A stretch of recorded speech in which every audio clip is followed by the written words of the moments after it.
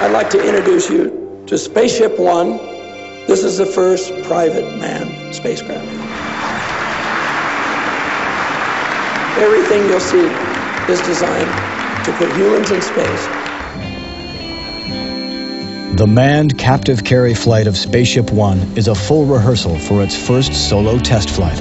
You know, we set out back uh, six, seven years ago to try and get people to think about a different type of capability. The technology isn't the issue, it's the way people think about space, and that's really the goal. Hardest part's getting off the ground sometimes. How's the ride, Mike? Lovely. As Rutan moves closer to his dream of barnstorming space, his greatest challenges still lie ahead. Couldn't be better. Rock solid. Okay, go on. After the success of Spaceship One's manned captive carry flight, Burt Rutan turns his attention to the hybrid rocket it needs to get to space. Two months after SpaceDev's first test fire, the second company in Rutan's rocket competition, EAC, fires their hybrid motor. This particular motor, compared to SpaceDev's, uh, the components have had a lot more actual live fire testing. So it should be a lower risk than the other one. But we'll see. Is there any key to opening these things? In addition to measuring thrust, today's test evaluates the heat emitted by the rocket motor. You got a steak? Gotta have buns. This time we're getting some uh, representative samples to look at radiant heating from the plume too. So we have aircraft structure down there, I know as well as some T-shirts and a little bit of campfire food. Perfect. NASA has never generated that data. As we understand, we've done an internet search and there's absolutely no data on what it takes to cook a hot dog next to a rocket plume. And so we're going to find out today. Are we going to be able to eat these marshmallows afterwards? Uh, yeah, now at seven and a half seconds, everybody's got to rush in and turn the weenies around. Yeah.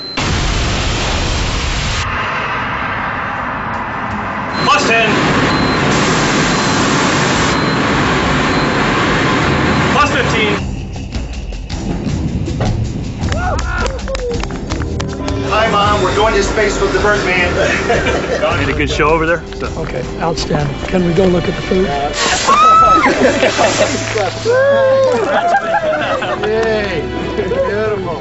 The resounding success is countered by tragedy. During the first flight of his home built plane, Scaled propulsion coordinator Dave Thompson crashes and dies. It is a brutal reminder of the dangers of flying. The night before Spaceship One's first solo flight, Burt Rutan and the Scaled Composites team gather around their creation. This is static pressure right here. Aerodynamicist Jim Tighe shares some of his most recent predictions for tomorrow's flight. My job is determining how the airplane's going to fly, how high it's going to go, how fast it's going to go, uh, what sort of forces are going to be imparted upon the airplane. Elevators have effective degrees of staff. So if you have one degrees nose up staff and 10 degrees nose down, that's 10 divided by 2 is 5, minus 1 is 4. So it's effectively 4 degrees of staff nose down before you launch. I'm not going to move the stick at all for the first three or four seconds. Mike Melvill will pilot the first flight of Spaceship One. He constructed the first plane built from one of Burt's kits while still a machinist in Indiana. He and his wife Sally flew to Mojave to show it to Bert and became Rutan's first full time employees. It's very stressful to be married to a test pilot. Uh, you know, did you hear that thing ring throughout the building? wow. what I personally do, the way I cope with it is I have to build up um, a wall. I build up a wall. How the heck you get in here. Tomorrow, Mike will drop from 47,000 feet in a plane that has never been flown. No one knows for sure if it will even fly. We don't know, you know. The spaceship has not been in a wind tunnel. If this was Boeing or somebody like that, by the time they would fly it, which would be years from now, they would know exactly how it would fly. Practice all you want there. Doesn't do anything. Okay, what about the nose thing to try to. The handle is right here, right? I personally put a lot of faith in Burt's ability to predict how it's going to work. Prior to flying, we'll always sit down, he and I, and he'll tell me how he thinks it's going to fly, and he's never been wrong. Jim Tighe's computer analysis predicts that Spaceship One will fly perfectly tomorrow. Just in case, They review the bailout procedure. What you want to do is duck your head and throw your body out. Yeah. If you're in a spin, it's going to throw you out as soon as you let go of the belt. So you'd go out like that. That's well, no, no, just put out. Well, you, yeah, exactly. So you'd just be just go out like that.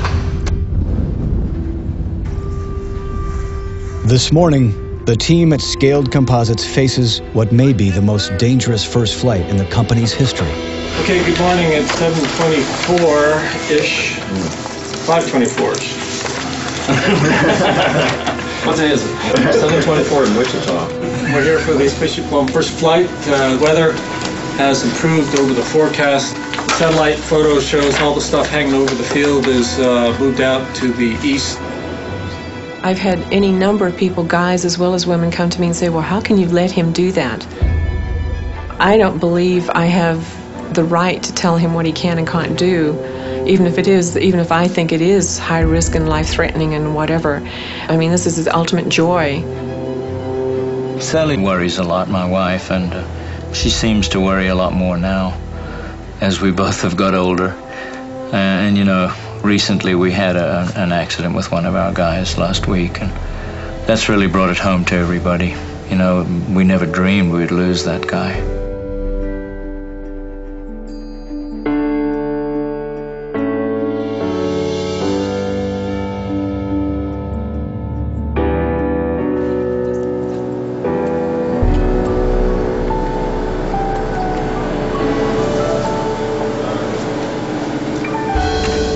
My horseshoe Michael gave me when I was 17 years old. He had it made, and it has our names and the date when we met. And it's always just been something special between us. It's my good luck charm. Okay, I'm ready to go.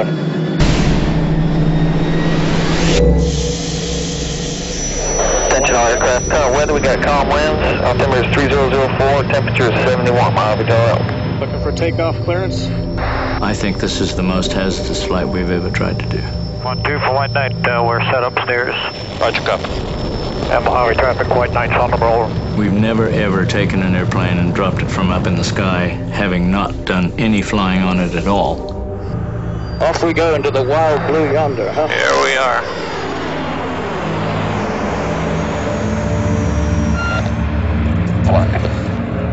White Knight ascends to 47,000 feet, 10,000 higher than a jetliner, before releasing Spaceship One. 102, 40,800. You all set back there, Corey? Yeah, I'm all set. Okay. Scum status? Scum's go for launch. 16. B-16 is on. Stand by for countdown. On my mark, three, two, one, mark. It's away. It's a clean, clean break. Feels like a clean break.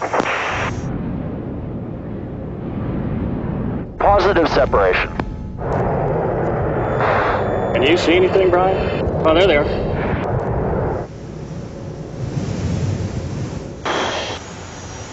Hey, the airplane flies pretty nice.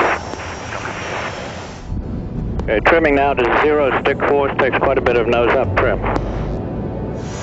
Flies like a dream. Damn, it's a good airplane. Yeah, the release was uh, definitely zero G. I was surprised. I had some things float up and hit the roof. Uh, one two from Scum. We show you green for landing. Copy that. Gear to go. Gear's coming. Here's coming. There's the gear. I heard them all. Looks like free green from here, Duchess. Chase planes give Mike eyes outside the ship to help him land safely. Three, one.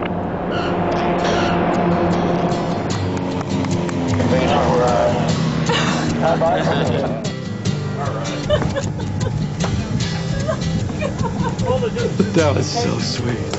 I love you so much.